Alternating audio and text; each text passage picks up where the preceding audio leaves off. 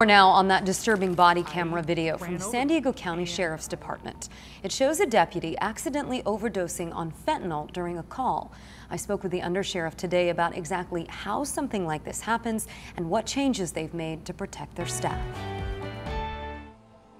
A dramatic video released from the San Diego County Sheriff's Department as a public safety warning about the opioid fentanyl. I'm Deputy David Faiivae and I almost died of fentanyl overdose. The body cam footage showing that deputy's partner administering naloxone or Narcan to reverse the effects of the overdose.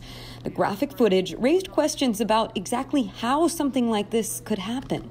The thought is he either ingested it, he inhaled it, somehow some of the powder got into the air that uh, through movement or motion while he was testing it, or perhaps dermally through his skin. Under Sheriff uh, Kelly Martinez spoke to ABC 10 News Friday about the incident. She says the deputy was wearing gloves during the call. You can see him taking one of the gloves off when he collapses. Uh, he was done testing it, he thought, because it came back positive for fentanyl, and then that's when he went down. According to a guide created by the American College of Medical Toxicology, for opioid toxicity to occur, quote, the drug must enter the blood and brain from the environment. Toxicity cannot occur from simply being in proximity to the drug. While it's still unclear exactly what happened in this case, the Sheriff's Department says it illustrates just how dangerous the drug is.